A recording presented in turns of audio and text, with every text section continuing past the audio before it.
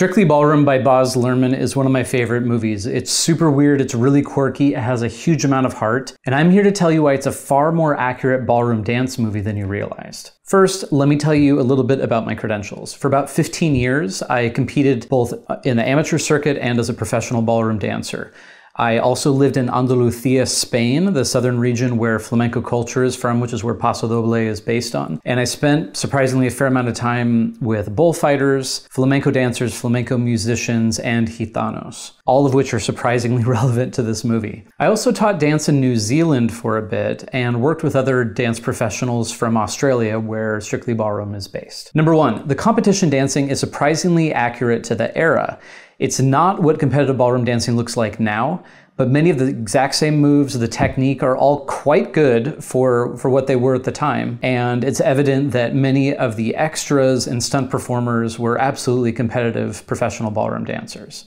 It's so common in dance movies to have people faking it. And especially with ballroom, it seems that people with ballet training or hip hop training feel that they can fake ballroom dance and make it passable. That's not the case in this movie. We have so many people who are truly good at ballroom dance. The one glaring exception to this is our lead, Scott Hastings, who evidently doesn't have professional ballroom training. He does fake it pretty well, I have to say. Number two, the costumes are very accurate to the era.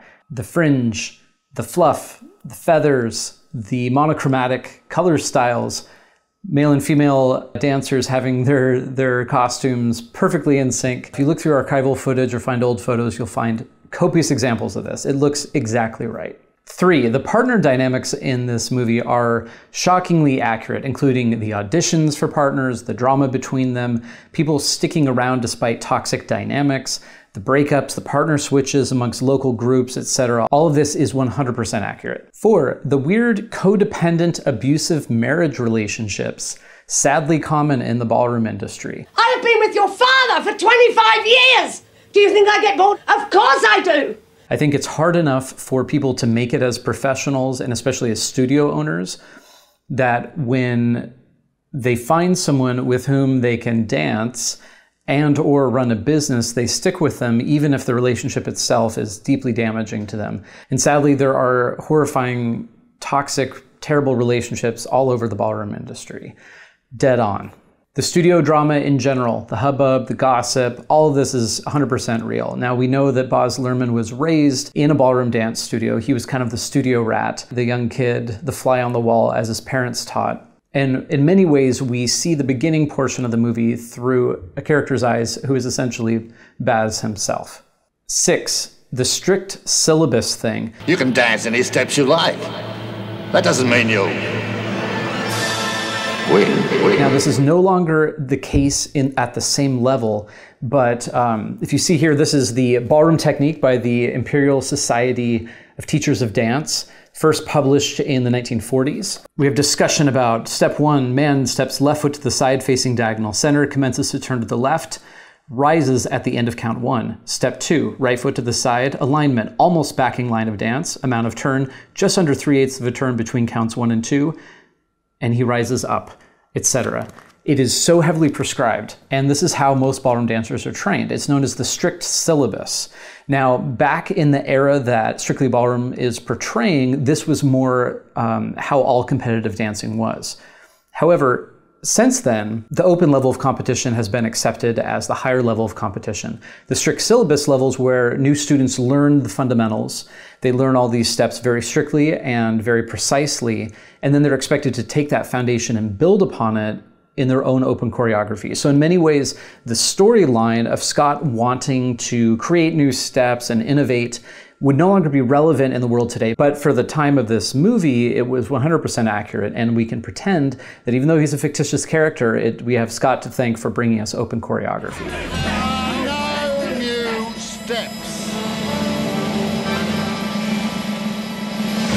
Number seven, drunk partners at dance competitions. 100% still a thing. You've been drinking! Bullshit. Bullshit. Bloody hell! There are so many drunk pros at every competition. Many uh, compete in an event called Pro Am, where they dance with students. And uh, sometimes they'll dance the same basic choreography for hours and hours and hours and hours, event after event after event after event. It becomes very boring. It can be very depressing. It can be a grind, and it's physically draining. Some people choose to turn to alcohol or drugs, but usually alcohol to, to help take the edge off of this. And it's not uncommon that by the end of the night, some of the professional dancers are completely sloshed, they're staggering around, and since the professional competition is usually the last event of the evening, often 10 or 11 o'clock at night, they're totally hammered by the time they go on the floor, and the results can be hilarious, they can be horrifying. Number eight, Paso Doble is the central uh, kind of hero dance of this, and factual proof it is the best of the 10 ballroom dances.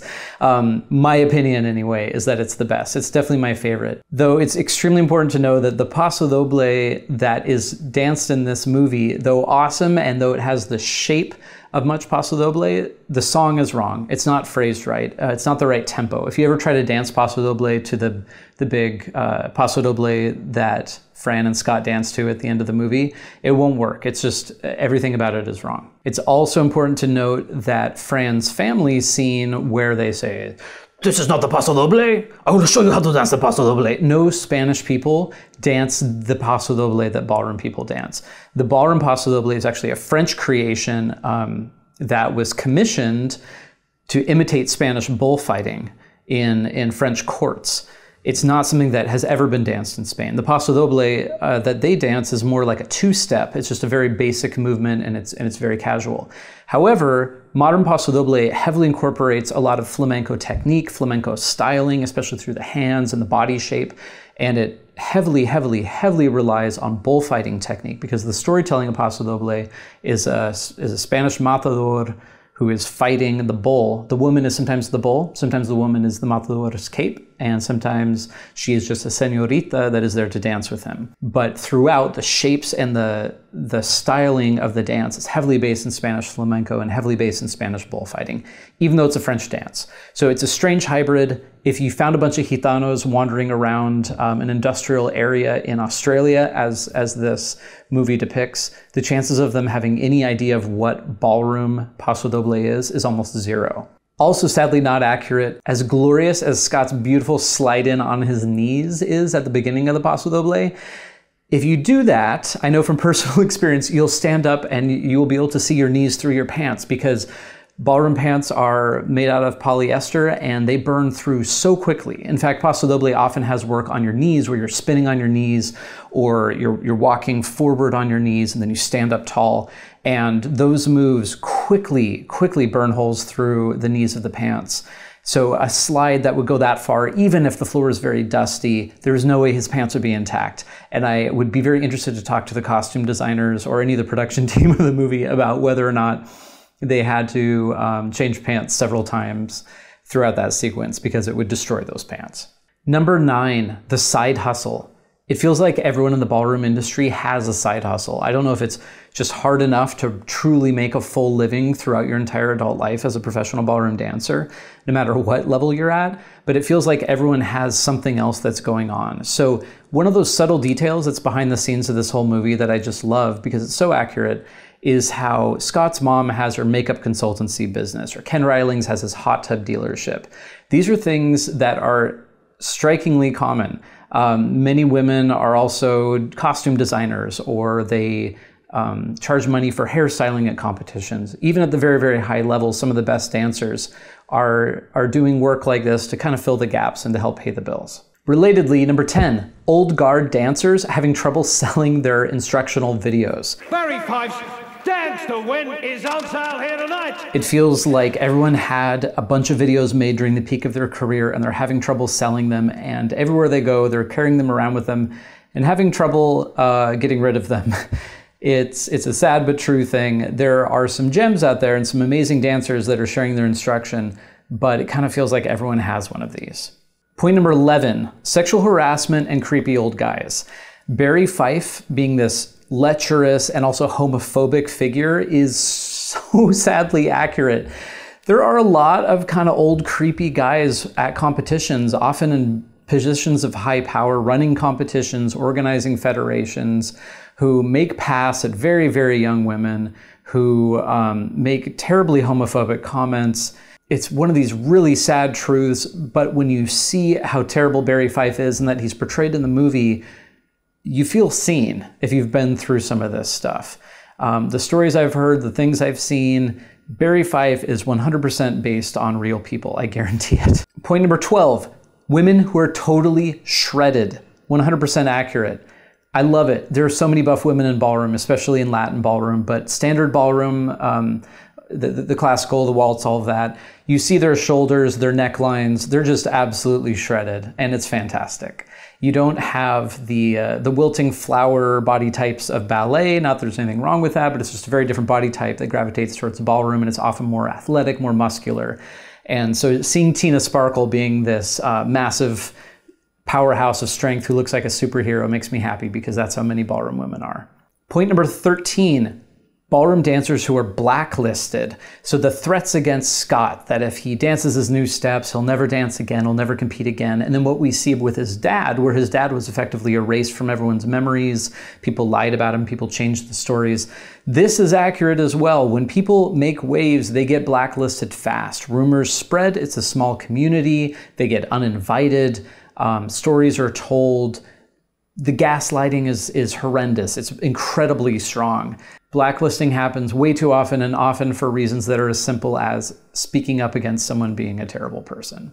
Drama at competitions is the norm. You may watch the movie and you may think, oh wow, there's no way that all these things would be going down at a dance competition where partners are disappearing and people are leaving them and someone can't find their costume, someone doesn't appear for a final. This happens all the time. I can't tell you how many times I've been at a competition. The woman w- walks out on the floor and her partner is nowhere to be seen and they're calling for him on the mic. Nobody knows where he is. Sometimes they wait, sometimes they don't. Sometimes he comes in partway through the cha-cha, makes a dramatic entrance. Everyone just kind of claps and cheers and it's it's part of the chaos. I don't know if it's so much uh, dramatic tension behind the scenes always, or people just uh, being tired or not paying attention, but there is always chaos at, at ballroom competitions. The notion that everyone thought that it was Scott's turn to win the Pan Pacific Grand Prix um, may seem absurd, but the politics of judging are very strong. There are feelings that certain dancers or certain couples uh, their, their time has come. Maybe they've gotten second place at nationals or at Blackpool for four years in a row. And then finally, the number one couple retires, and everyone expects that the number two couple will this time win, even if uh, last year's number six couple has improved more and they're more deserving as a first place couple. The politics are strong. When Scott doesn't win uh, the Pan Pacific Grand Prix, his mom screams, Did I fail him as a mother? That may seem dramatic, but dance moms are everywhere, including in ballroom dance. This is very typical. Point 17 the fake tans on everybody. Everybody's orange skin, even on people who aren't dancing. The judges, the, the people in the stands. This is common. There's something about ballroom where just everyone's used to putting on spray tans. Um, and it's part of the culture and it's bizarre and it's deeply problematic in some ways and it's probably unhealthy but it's something that you see when you go. Point 18 the bogo pogo is this dance move that is often mentioned and referenced. It's the bogo pogo mr fife. I know many strange dance moves. Many of them have very bizarre names such as the mooch or alemana um, the Bogo Pogo is not one that I've ever heard of, but there is a samba move called the Botafogo, which though it, it's not similar to what Barry Fife demonstrates, it does have certain similarities. And when Barry begins to demonstrate the Bogo Pogo, it looks vaguely like a samba step. So I believe that this is a little bit of a joke on Botafogo, or it could have been Baz Luhrmann's uh, distorted memory. Maybe he remembered there was something similar to that, or he wanted to create a joke that was similar to an actual dance figure's name. But Botafogo would be the closest thing, but it looks nothing like what, what Barry Fife was teaching. But I love the detail. Okay, point number 19. When Scott is alone at the studio at night and he's frustrated, he shuts off most of the lights. He turns on his kind of weird favorite song that's not a ballroom song and it's kind of primal and he just freestyle dances. And it's one of the most riveting, beautiful, um, engaging dance pieces in the movie. And it's also beautifully accurate. I can't tell you how many times I've seen dancers 11, 12 o'clock at night, they finish rehearsal, they're frustrated, maybe they're mad at their partner, maybe they're mad at life, they're going through a hard time, down to turning off the lights and 100% uh, the detail, putting on like sometimes really weird music, but great music, and just cutting loose. I love that it's in this movie because many of us have been there in that same position, though not looking anywhere as good as Scott. He's phenomenal. And my favorite detail about it is that he finishes this freestyle by smacking into the mirror. Also, something that I've seen before, you lose yourself, especially in the studio at night when you're tired. The depth perception involved in a, a very well cleaned mirror um, when you're moving around fast, it can be pretty easy to smack into the mirror. And it's a little bit embarrassing to think about, but it happens all the time. Number 20, Fran's first lesson with Scott, which is a rumba box and then a progressive basic, is 100% what a first Latin ballroom lesson might look like, and very similar to what a basic audition could look like. Scott obviously wasn't taking her very seriously. He was just testing her out to see how she moves, but he was beginning with the rumba basics, and that's where people start. Rumba is generally viewed as the fundamental Latin dance that has most of the movement that's in the other Latin dances, but it's slower, and so you have more of an opportunity to move through the movement and to be deliberate and to ingrain the patterns into your muscle memory.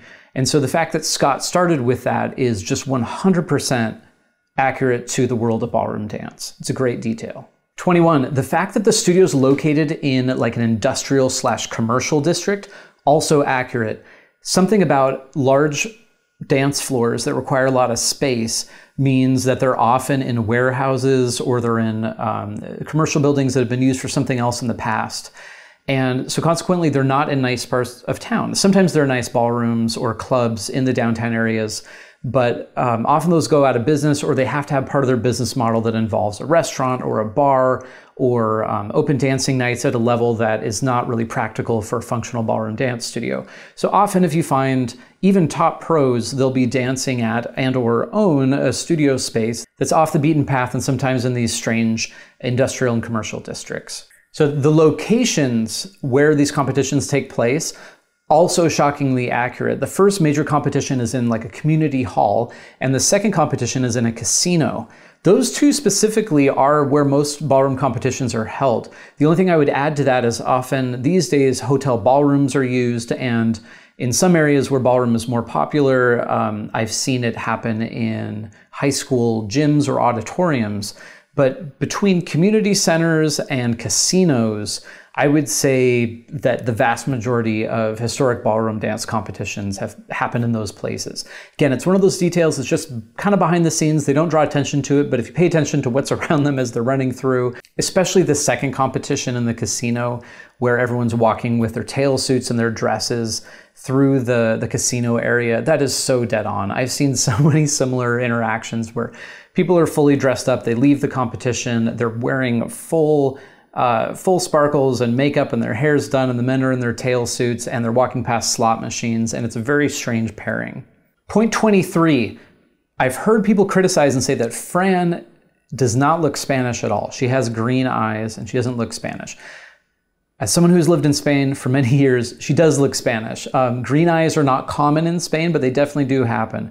Her complexion being lighter does look Spanish, and uh, the, the curliness of her hair, the texture of her hair, all that, she totally could sell as someone from Spain. 24. The scene with Fran's family. So the embarrassing call out where they demand that uh, that Fr- Fran and, and Scott dance the Paso Doble in front of them and it's this awkward scene where they they bring in um, an energy that's very studio. It's it's it's a bit balletic, and and the the Spanish people kind of laugh at them and then show them how it's done. This is pretty real. A dance off, if you will, um, is not uncommon in southern Spain.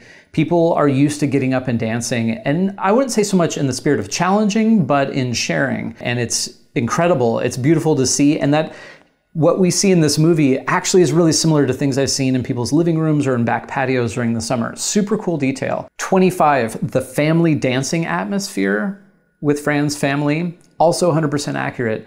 Um, men dancing together, old people dancing, all body types, the grandma, everybody can move. It's totally normal. That is something that that actually happens in southern Spain. It's so beautiful and I love it about it. And it's such a great moment in the movie. 26, the environments of these competitions themselves very accurate. The banners for vendors are a detail that uh, that is very common to see everywhere. Also, people rushing through the corridors, people crowded in, some people trying to hurriedly get to their position in line while other people are maybe doing their eyelashes or polishing their shoes, falling asleep, trying to remember their choreography, all in very crowded corridors, narrow spaces backstage.